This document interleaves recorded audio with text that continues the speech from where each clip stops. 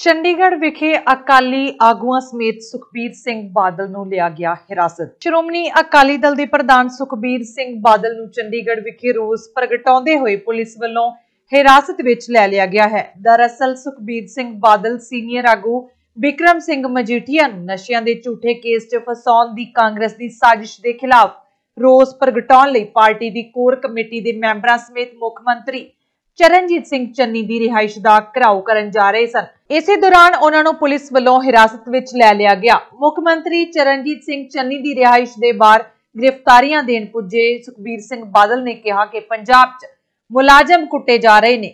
ਗਰੀਬ ਤੇ ਕਿਸਾਨ ਕੁੱਟੇ ਜਾ ਰਹੇ ਨੇ। ਉਹਨਾਂ ਤੋਂ ਕੋਈ ਪੁੱਛਗਿੱਛ ਨਹੀਂ ਕੀਤੀ ਜਾ ਰਹੀ ਹੈ। ਉਹਨਾਂ ਕਿਹਾ ਕਿ ਕਾਂਗਰਸ ਪਾਰਟੀ ਨੇ ਅਕਾਲੀ ਵਰਕਰਾਂ ਦੇ ਝੂਠੇ ਕੇਸ ਦਰਜ ਕੀਤੇ ਨੇ। ਹੁਣ ਹਿੰਮਤ ਹੈ ਤਾਂ ਸਾਡੇ ਤੇ ਵੀ ਕੇਸ ਦਰਜ ਕਰਨ। ਇੱਕ ਮਹੀਨਾ ਇਹਨਾਂ ਦੇ ਕੋਲ ਰਹਿ ਗਿਆ, ਜੋ ਵੀ ਕਰਨਾ ਹੈ ਕਰ ਲੈਣ। ਉਸ ਤੋਂ ਬਾਅਦ ਜੋ ਜੋ ਇਹਨਾਂ ਨੇ ਝੂਠੇ ਕੰਮ ਕੀਤੇ ਨੇ, ਉਸ ਦਾ ਇਨਸਾਫ ਕੀਤਾ ਜਾਵੇਗਾ। ਇੱਥੇ ਇਹ ਵੀ ਦੱਸਣਯੋਗ ਹੈ ਕਿ ਸੁਖਬੀਰ ਸਿੰਘ ਬਾਦਲ ਨੇ ਬੀਤੇ ਦਿਨ ਕਿਹਾ ਸੀ ਕਿ ਇਸ ਮਗਰੋਂ ਜ਼ਿਲ੍ਹਾ ਪੱਧਰ ਤੇ ਜੇਲ੍ਹ ਭਰੋ ਅੰਦੋਲਨ ਸ਼ੁਰੂ ਕੀਤਾ ਜਾਵੇਗਾ। ਕਾਂਗਰਸ ਪਾਰਟੀ ਵੱਲੋਂ ਅਕਾਲੀ ਦਲ ਦੇ ਪ੍ਰਧਾਨ ਖਿਲਾਫ ਝੂਠਾ ਕੇਸ ਦਰਜ ਕਰਨ ਦੀ ਸਾਜ਼ਿਸ਼ ਬੇਨਕਾਬ ਹੋਣ ਤੋਂ ਬਾਅਦ ਰਚੀ ਗਈ ਦੂਜੀ ਸਾਜ਼ਿਸ਼ ਦੇ ਵੇਰਵੇ ਸਾਂਝੇ ਕਰਦਿਆਂ ਸੁਖਬੀਰ ਸਿੰਘ ਬਾਦਲ ਨੇ ਕਿਹਾ ਸੀ ਕਿ ਸਾਡੇ ਕੋਲ ਪੱਕੀ ਖਬਰ ਹੈ ਕਿ ਮੁੱਖ ਮੰਤਰੀ ਨੇ ਡੀਜੀਪੀ ਨੂੰ ਮਜੀਠੀਆਂ ਦੇ ਖਿਲਾਫ ਝੂਠਾ ਕੇਸ ਦਰਜ ਕਰਨ ਦੀਆਂ ਹਦਾਇਤਾਂ ਕੀਤੀਆਂ ਸਨ।